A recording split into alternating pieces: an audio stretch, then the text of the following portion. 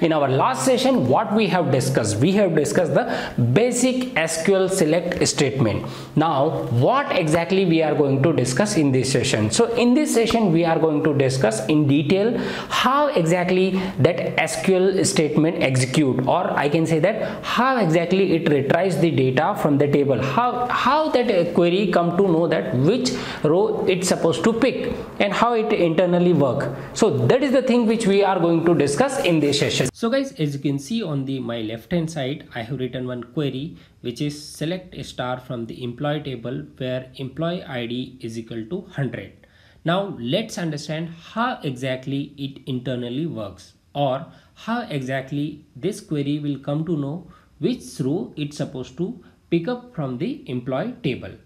So let's understand this. For that I need to draw one employee table.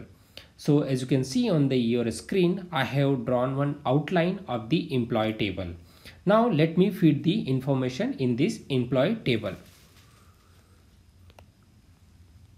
So guys, as you can see over here, this is uh, these are the column emp underscore id name and date of birth so these are the three column available in the employee table for the time being understand okay now let me feed the information in this table. So let's say for example your employee id is equal to 500 and then second one let me first draw the rows. And then 600 and then 300 okay and then 100 and then let's say for example 1000 something like that. Okay now a name is your raju laksh bhaksh sona. Um, som. Something like that. We have a name. Over here date of birth 01 02 1994 very young guy guess 03 1993 01 04 1995 01 05 1996 01 06 1997 something like that we have content in the employee table.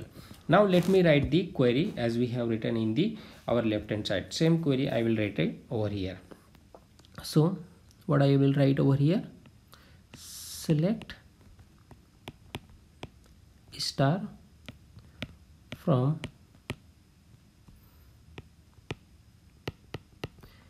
employee where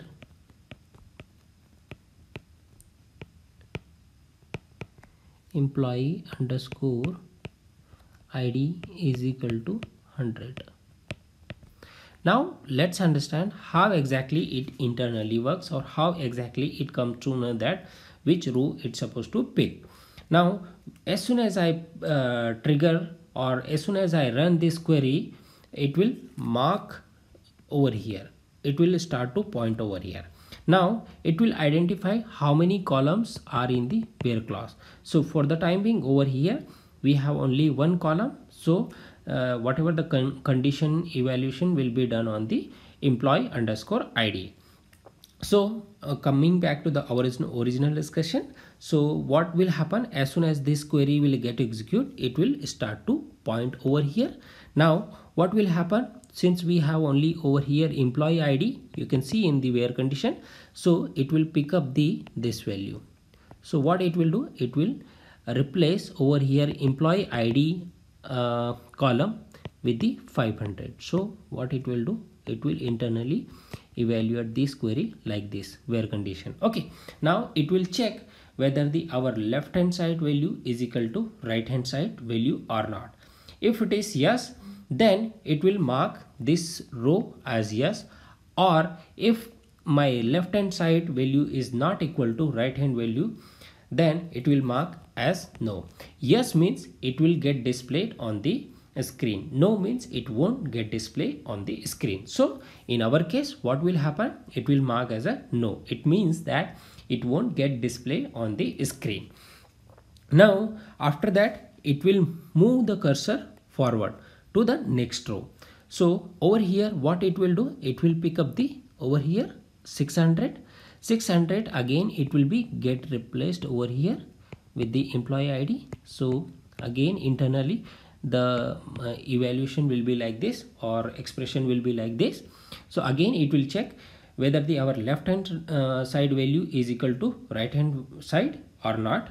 If it is yes then it will mark yes yes means it will be get displayed on the screen. So in our case it is not equal to uh, uh, left hand side value is not equal to our right hand side. So it will mark as a no. Okay? It means that it won't be get displayed on the screen. Now same thing will be done with the this 300 okay? So in the uh, 300 case also 300 is not equal to 100 it means it again will be marked as a no. Now uh, uh, the cursor will be moved to the next row which is nothing but your 100 now again 100 will be get replaced over here. Now again it will check whether the our uh, uh, left hand side value is equal to right hand side or not. So in our case it is yes. It is left hand side value is our equal to uh, right hand side so it will mark as a yes. Yes means it will be get displayed on the screen. Now again this cursor will be get moved to the next row which is nothing but your 1000 so again 1000 will be get replaced over here. And again it will check whether the our left hand side is equal to right hand side or not. So in our case it is not. So it will mark as a no over here.